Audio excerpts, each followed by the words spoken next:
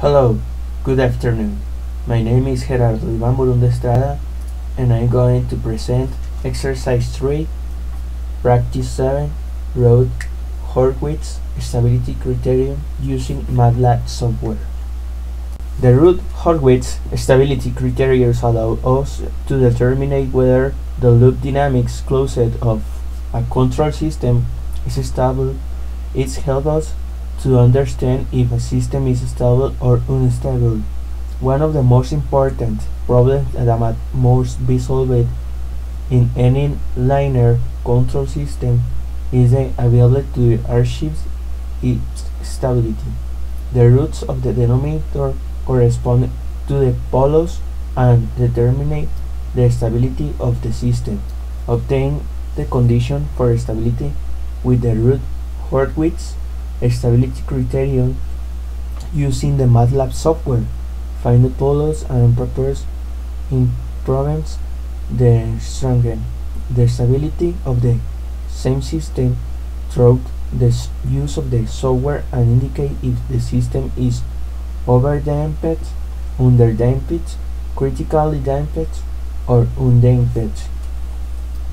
First, we will open what is the MATLAB program. Then we will put a new script. Next, we will paste the codes shown below. All of these codes. First, the entire program was copied for exercise 1. The program is shown below. We change the program input data from exercise 1 in this part call it take a coefficient vectors and organize the first two rows. Okay so the following program lines were added to obtain the point plot of the roots. The program is shown below in the in this case. We're gonna use this tool for giving us the graphics we execute the program and the Routh Hurwitz table is obtained. In this case and it's obtained that the system is stable. This is shown below. It is stable system. Then we're gonna click in run again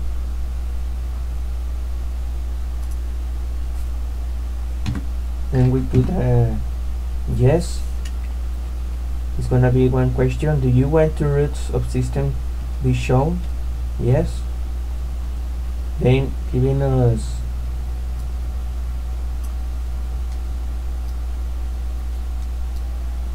um,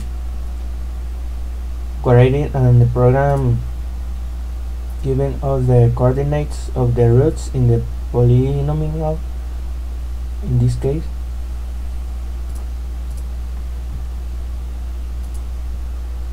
Then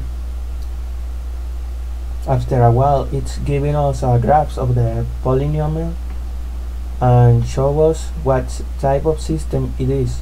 In this case the type of system is underdamped.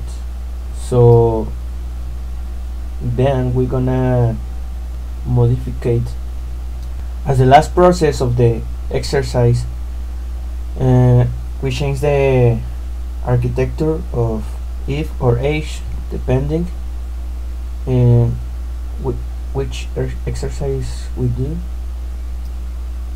Okay. The following image shows the result obtained by changing the architect of each of the 10 exercise